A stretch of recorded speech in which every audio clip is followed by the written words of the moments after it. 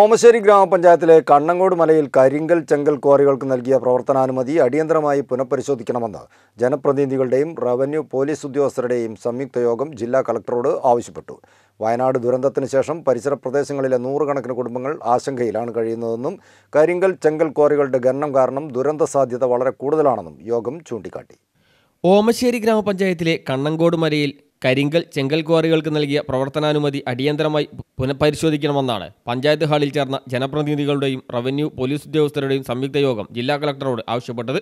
കരിങ്കൽ ചെങ്കൽ ക്വാറികളുടെ കാരണം കാരണം ദുരന്ത സാധ്യത വളരെ കൂടുതലാണെന്നും വയനാട് ദുരന്തത്തിന് ശേഷം പരിസര പ്രദേശങ്ങളിലെ നൂറുകണക്കിന് കുടുംബങ്ങൾ ആശങ്കയിലാണ് കഴിയുന്നതെന്നും യോഗം ചൂണ്ടിക്കാട്ടി. അധികൃതർ പുറത്തുവിട്ട ദുരന്ത സാധ്യതയുള്ള സ്ഥലങ്ങളുടെ ലിസ്റ്റിൽ കൂടത്തായി വില്ലേജ് പരിധിയിൽപ്പെട്ട കണ്ണങ്കോട് മലയുടെ പേരുൾപ്പെട്ടത് ഗ്രാമവാസികളുടെ ഭയം വർദ്ധിപ്പിക്കുകയാണ്. കണ്ണങ്കോട്ട് മലയുടെ ചുറ്റുപാടുമുള്ള പല കുടുംബങ്ങളും ദുരന്ത ഭയന്ന് ബന്ധുവീടുകളിലേക്ക് മറ്റും മാറി താമസിക്കുകയാണെന്നും അതീവ ഗുരുതര സാഹചര്യമാണ് ഇവിടെ നിലനിൽക്കുന്നതെന്നും വിഷയത്തിൽ അടിയന്തരമായി ഇടപെട്ട് പ്രവർത്തനാനുമതി റദ്ദു ചെയ്യുന്നതിനുള്ള നടപടികൾ സ്വീകരിക്കണമെന്നും യോഗം ആവശ്യപ്പെട്ടു.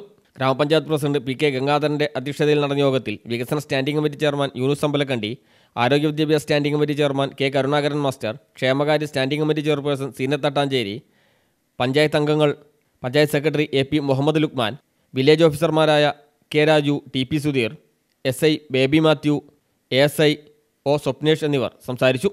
തുടർന്ന് ജനപ്രതിനിധികളുടെയും ഉദ്യോഗസ്ഥരുടെയും സംഘം കണ്ണങ്കോട് മല സന്ദർശിക്കുകയും ചെയ്തു.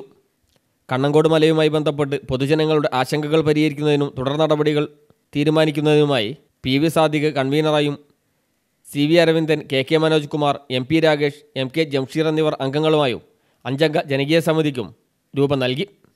News bureau Omassery.